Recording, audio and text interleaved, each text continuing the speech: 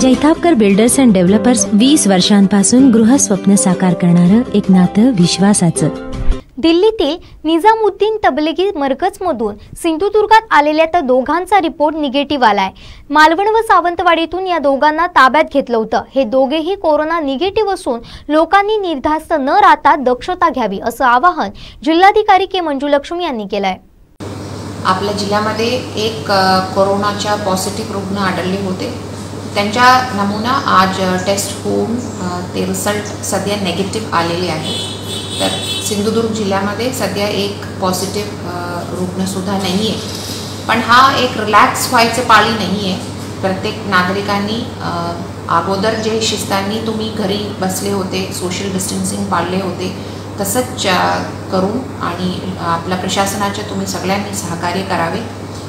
जिल्ह्यामध्ये सध्या छप्पन्न नमुना पाठवून पा सहा जे सॅम्पल्स आहेत त्यांचे रिझल्ट अपेक्षित आहेत. आणि ह्या सहामध्ये दोन आपला ज जिल्ह्याच्या तबलिगी जमातमध्ये स सहभागी झालेले दोन आपल्या जिल्हावासियांचे सुद्धा सॅम्पल्स आहे. आणि जे जिल्हावासियांनी दिल्लीमध्ये वैयक्तिक कामासाठी प्रवास केले होते त्यांच्यासुद्धा आपण प्रिकॉशन म्हणून क्वारंटाईन केलेली आहे. जिल्ह्यामध्ये एप्रिलच्या धान्य वाटप सध्या सुरू आहे. प्रत्येक अंत्योदय अन्न योजना आणि प्राधान्य कुटुंबातला प्रत्येक सदस्याने आपण पाच किलो तांदूळ मोफत देणार एप्रिल मे आणि जूनच्या महिन्यासाठी. पण हा रेग्युलर उचल झाल्यानंतर हा मोफतच्या पाच किलोच्या तांदूळ देणार. ह्याच्यासोबत आता आपला प्रत्येक अंगणवाडीमध्ये जे टेक होम रेशन या टी एच आर आहे त्यांच्या वाटपसुद्धा सुरू आहे. आणि शाळामध्ये जे मध्यान्ह भोजन देतात त्यांच्या पण माल आता प्रत्येक मुलांच्या घरी पोहोचायची व्यवस्था शासनाने केलेली आहे.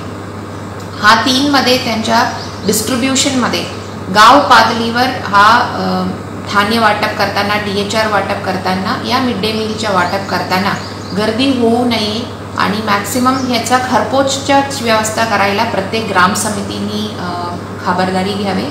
त्याच्यामध्ये ग्राम गाव पातळीच्या जे समितीमध्ये सरपंच तलाठी पोलीस पाटील आणि ग्रामसेवक सगळे सदस्य आहेत.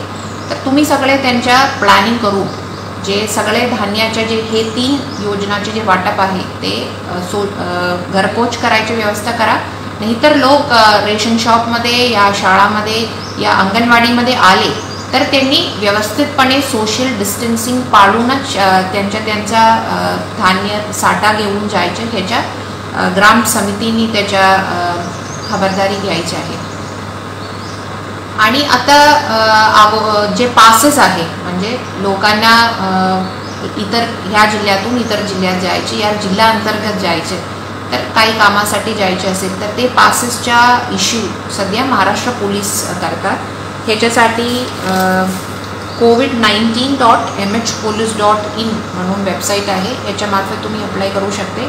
नाहीतर ॲपमार्फत सुद्धा अप्लाय करू शकते. तर अगोदर जे तहसील लेवलला आपण जे परवानगी देत होते ते आज एक आदेशाने त्याच्या मी संपुष्ट करण्यात आलेली आहे आज.